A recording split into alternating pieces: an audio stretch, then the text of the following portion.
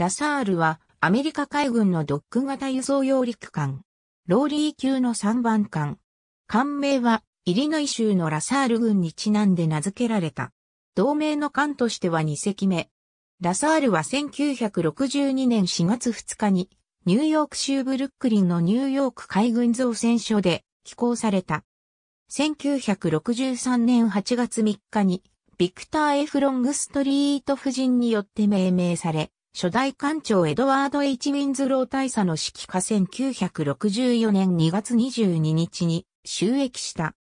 カリブ海での慣熟訓練の後、バージニア州ノーフォークを出港したラサールは10月9日にスチールパイク1作戦に参加する。アメリカ海軍とスペイン海軍合同の80隻以上が参加する複合演習であった。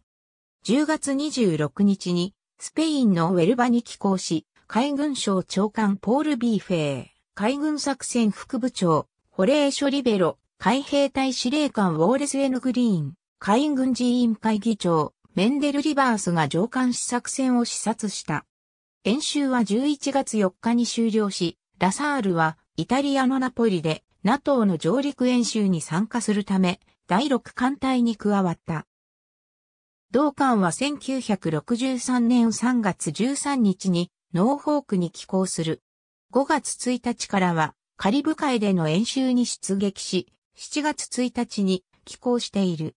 1966年頃はアメリカ東海岸付近で作戦行動を行っている。また、1966年11月3日にはアセンション島近海でジェミニ2号の試験カプセルの回収を行っている。1967年には整備のためにノーフォークの交渉へ長期入居している。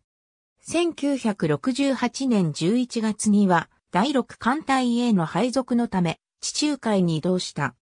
1972年補助指揮官に艦首変更され、さらにフィラデルフィア交渉にて正規指揮官としての改装工事を受ける。改装後、中東部隊機関に収益。1979年には、イラン革命に伴う混乱により、同国から脱出する260名のアメリカ市民を支援するため、バンダルアッパースで行動している。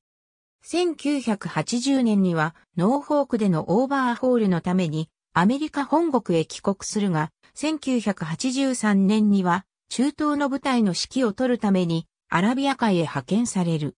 1986年には、イエメン内戦に伴い、航海で行動している。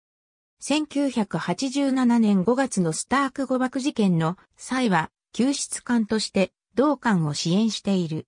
1990年の湾岸危機の際は、多国籍軍の海上部隊の調整を行っている。その後改装を受け、1994年11月からは、米第6艦隊機関となった。また、2004年夏季オリンピックの際は、ギリシア水域の NATO 軍の調整を行っている。2005年2月25日に第6艦隊機関任務をマウントホイットニーに譲り、5月27日に退役した。ラサールはその後は予備艦として保管されていたが、2007年4月11日、大西洋艦隊の演習に再始実弾、射撃目標とされ、撃沈処分となった。中東派遣部隊機関時代のラサール・ラサールは、中東部隊の機関に収益した際に、識別のために、艦全体を白く塗装しており、各国の実戦軍艦の中でも得意な白い軍艦として有名な存在でもあった。1907年、セオドア・ルーズベルト大統領の命により、世界一周航会を行って、アメリカの異様を世界各国に示した当時の大西洋艦隊がグレートホワイトフリートと形容されたことにちなみ、中東部隊機関としてアラビア海に派遣されていた際には、ザ・グレート・ホワイト・ゴースト・オブ・ザ・アラビアン・コーストと通称されたが、その白く目立つ船体は、中東派遣部隊の将兵には、グレート・ホワイト・ターゲットと自重されていた。これは、ペルシャ湾でイラク軍機による対艦ミサイル攻撃が頻発する中、ラサールの防御兵装が旧式の3インチ、両用速射砲しかないことを皮肉ったものであった。ありがとうございます。